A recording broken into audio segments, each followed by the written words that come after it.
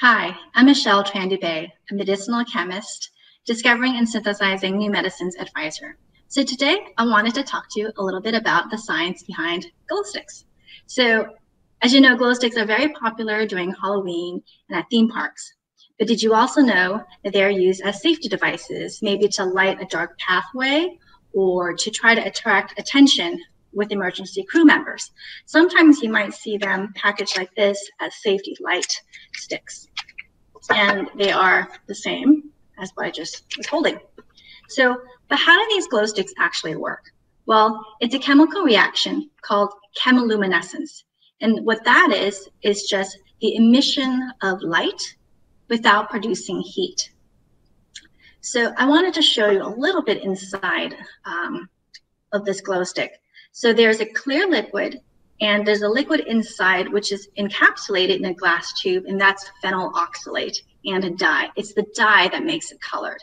So what I did in, in the safety of a lab, so please don't try this at home, but in a lab, what I did is I, I opened the bottom of this glow stick and I poured out the clear liquid. This clear liquid is hydrogen peroxide, and the inside liquid, which is encapsulated as a gla- in a glass tube, is phenyl oxalate and the dye. So this is a pink dye. And so let me just tell you a little bit about this reaction. So when the phenyl oxalate and the hydrogen peroxide come together, that's when you break the, the, the glow stick. When they come together, they form peroxy acid ester, and they release phenol, which doesn't do anything um, in this reaction. But the peroxy acid ester is unstable, and it breaks down and forms cyclic dione and releases another phenol molecule. But the cyclic dione is also unstable and breaks down to CO2, which we know is carbon dioxide, and releases energy.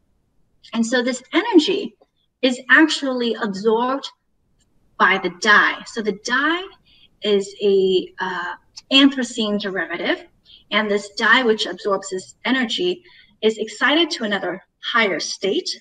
And as it relaxes back down, it emits photons of light. So that's the glow that you see. This reaction is very, very fast. Um, I wanted to tell you a little bit about the dyes too. There's a lot of dyes out there. There's blue, red, green, and they're all coming from a very similar derivative molecule called anthracene. So let's break a few so you can see how this reaction works. So here is a pink uh, uh, glow sticks. So what I'm going to do is I'm going to crack open the glass tube in the middle by bending the, uh, the glow stick and shaking it up. By shaking it up, you're combining these two liquids. As you can see, it's super bright. Let's try another one. Um, this fluorescent green, crack it, you can hear that crack. You're breaking the, the, the, the glass again and you're shaking it up. And here's your fluorescent green and your fluorescent pink. So a couple tips for you. Tip number one, if you want these to um, glow the next day, what you want to do is put these in the freezer. And what that does is it stops or minimizes the molecules from interacting with each other because it's in a colder environment. And that'll just um, prolong the glow time. But if you want these sticks to glow even brighter, what you want to do is dip them in some warm water. And what that does, it makes the molecules move very, very quickly and releasing more energy. And so it'll glow very bright, however, in a shorter period of time. So I hope you enjoyed the science of glow sticks and please be safe when you use them. Stay tuned to the next bite size science.